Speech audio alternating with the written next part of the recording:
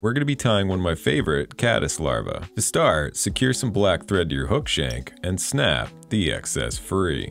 And grab some white ostrich herl. Grab a small clump of three and secure it to the back of your fly.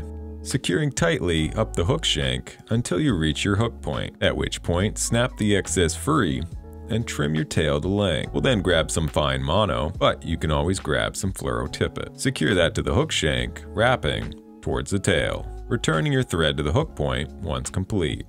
And grab some thin skin. Here I'm using clear.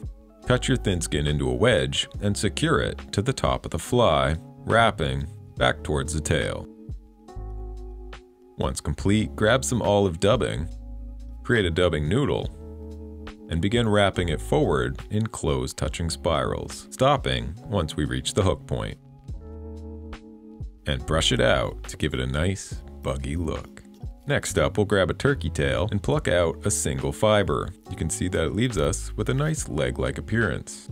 Measure this to be about the size of our dubbing and secure it to one side of your fly.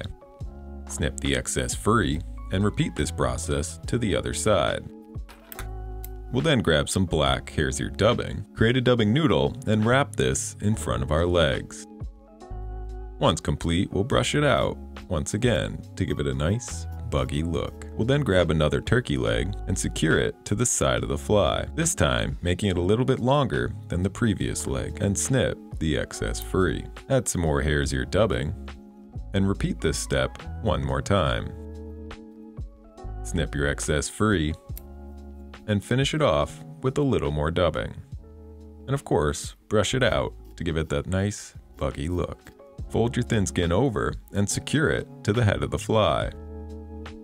Once complete, snip your excess free, grab your mono wire, and begin wrapping this forward in open spirals, taking care not to trap any legs in the process. Continue wrapping the mono thread forward until you reach the hook eye, at which point we'll secure, taking thread wraps both in front as well as behind, and snipping the excess free. Use a whip finisher to build up a small head and paint it over with some UV resin. And this is an extremely buggy caddis larvae. If you don't tie and would like to try this fly, we just restocked it on my website. You can pick it up in this variation or in an alternative tan. Subscribe for more, and I will see you in the next one.